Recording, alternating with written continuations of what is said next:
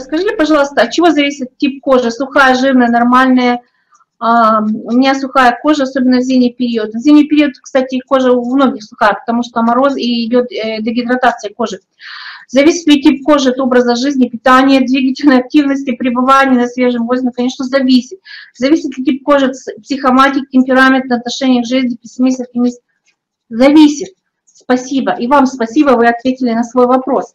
И дело в том, что кожа, она питается, э, значит, то, что, у нас вот тут, э, снаружи, это уже ороговевающий э, многослойный плоский эпителий, это уже мертвый вот здесь чешуйки, мертвые эпителия, они не имеют сосудов, они слущиваются.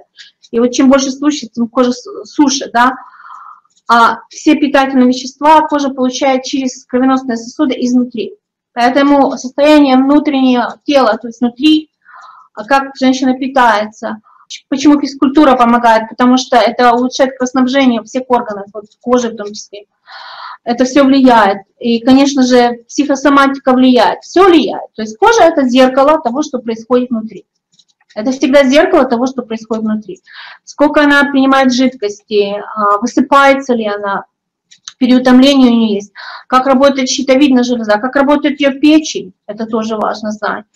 Э, Все это влияет. И э, в основном кожа, свойства кожи, они заложены генетически, поэтому нельзя злоупотреблять такими слухами, что типа любую кожу можно изменить и помочь, и вот главное, что выложить, я не знаю, какую сумму денег, э, вот эти маски, вот эти кремы и так далее. Чем больше, говорится, человек отдыхает и полноценно живет и все такое, тем меньше проблем будет с кожей. Конечно же, есть заболевания кожные, это совершенно другая тема. Есть э, определенная генетическая предрасположенность к каким-то заболеваниям, даже экзема, например, э, частое явление у людей, э, страдающих аллергиями, тоже, значит, отражается на коже.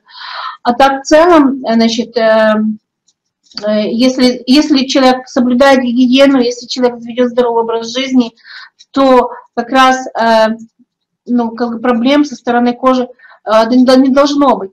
Особо влияет, особенно влияют как раз сезоны. Зимой, когда сухо, особенно когда соль вот эту посыпает, нас соль посыпает очень часто Э, когда начинается морозы, когда снег, высушивает моментально руки и лицо, то есть это заметно, то есть нужно как бы все время думать о том, как защитить от того, чтобы не было вот этого, пере, пере, вот этого высыхания. А потом э, влияет а, ношение синтетической одежды. Сейчас мода носить синтетическую одежду, и фактически нет нормального дыхания кожи, то есть коже, коже нужен кислород.